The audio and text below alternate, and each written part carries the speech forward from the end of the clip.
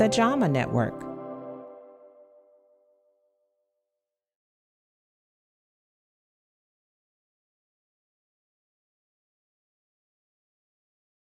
My name is Carlos Grijalva. I am an associate professor of health policy at Vanderbilt University Medical Center. Every year, influenza causes more than 200,000 hospitalizations in the United States alone. The most effective strategy to prevent influenza infections is vaccination. Several studies have previously shown that influenza vaccines can prevent acute respiratory illnesses due to influenza. However, whether influenza vaccines can prevent serious complications of influenza infections, such as pneumonia, remains unclear.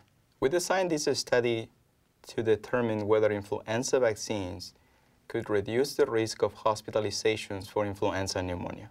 This was a multi-center collaboration between academic institutions and the Centers for Disease Control and Prevention. Our study used data from the etiology of pneumonia in the community, or the EPIC study. EPIC was a prospective study that identified patients hospitalized with pneumonia and attempted to determine the etiology of these infections. EPIC enrolled patients at, at four different sites in the country and tested them for different potential causes of the disease. And among patients hospitalized with pneumonia, we identified those patients that were admitted to the hospital with influenza pneumonia, and those were our cases.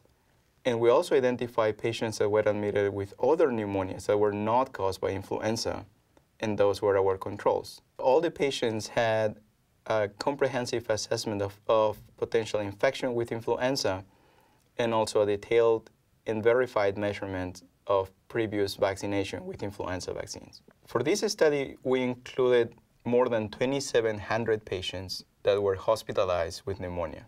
Approximately 6% of those patients had pneumonias that were caused by influenza, so those were our cases. Our analysis revealed that vaccination with influenza vaccines was associated with a substantial reduction in the risk of hospitalization with influenza pneumonia. The estimated vaccine effectiveness was 57% and that means that approximately 57% of hospitalizations for influenza pneumonia could be prevented through vaccination. The benefit of the vaccine extended to both children and adults. We also observed that the benefit of the vaccines seemed to be a little lower for some subgroups, especially older adults and some patients who had immunosuppressive conditions, such as malignancies or HIV infection. So additional studies are going to be needed to identify optimal strategies to protect these groups.